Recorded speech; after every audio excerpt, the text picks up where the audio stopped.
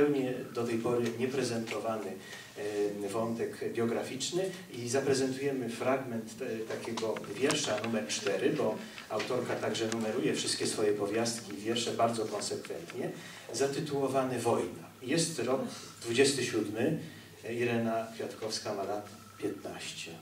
No to jest tutaj też Pan zdziwiona bardzo tą taką twórczością.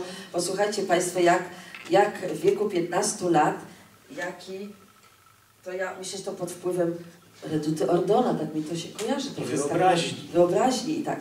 Jeszcze napisała e, e, pa- e, 15-letnia Irenka, wierszyki moje zostały przez klasę przyjęte nader życzliwie. Bardzo mi też przyjemnie, a tymczasem notuję tu ostatnio napisany wierszyk.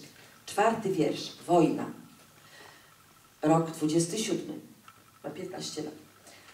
Ludzie się dziwią, pytają z hałasem, czy ta wielka wojna nie jest już zapasem? Bo widzą na niebie te znaki przeróżne, to wojsko, to oddział, to wozy podróżne, a gdy się spostrzegli, że na białym koniu jedzie wielki rycerz po zielonym błoniu, w ten czas już bez zwątpień razem wykrzyknęli wojnę, wojnę, wojnę będziemy my mieli. Ozwały się trąbki, piszczałki żałosne, pożegnali wioski, powitali wiosnę. Ruszenie kazało iść na kraniec świata, kiedy nieprzyjaciel jako kruk już lata. Stanęły niedługo takie zbrojne chówce, że się wróg zatrwożył, zwołał swoje mówce, a ci wnet pobiegli, to błagać hetmana, to prawie zaklinać wielmożnego pana, lecz wódz się nasrożył, brwi zmarszczył okrutne, precz krzyknął, wnet na nich me żołnierz, żołnierze butne. Już posły się bały gniewać swego wroga, uciekli jak zmyci. W domu czerń noga obległa ich w koło. Jakie wiadomości? Ale na ich gębach tyle było złości, że przestali pytać strachu ledwie żywi. Poszli pijać dalej, choć już im się dymi. Nastało świtanie, ataman zły, groźny, hejże tam wykrzyknął, a ja jestem możny i mnie też stać na to, bym słał ludzi w walkę. O hetmanie srogi, będziesz miał rywalkę. Śmierć chce zawalczyć z tobą, na śmierci życie. Będziecie potulni, a teraz krzyczycie. Wojna rozpoczęta naprzeciwko siebie.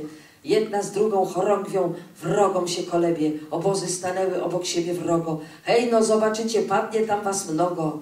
Nagle rozkaz wydany, w imię Boże bij. A znów z drugiej strony, o Allah, bij, zabij.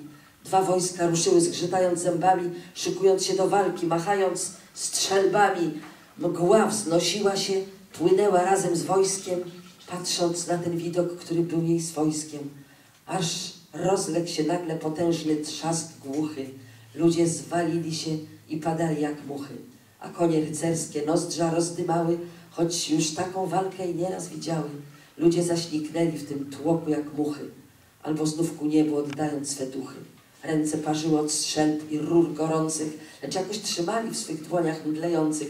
Walka jest zawzięta, krew się leje hojnie. Żołnierz umierając woła bogobojnie. Jeden to Allaha, a drugi O Maryjo. A nieprzyjaciele w szańcach ciągle ryją. Nagle wódz się zerwał i leci na czele. Żołnierze, rozumiejąc jego mądre cele, z zapałem huknęli na nieprzyjaciela, na te pałki mnogie tego krzywdziciela. Walka była krótka. Wpatrzeni w hetmana, jeli tęgo machać szablą na srogiego pana. A ataman zaczął walczyć tak okrutnie. Wódz krzyknął, żołnierze, na tego to butnie. Niedługo śpiewali Te Deum Laudamus i poszli, ja tu zgubiłam ostatni wers, i poszli gnać wroga, tylko już nie na mus. No to słuchajcie, to jest... Prawda?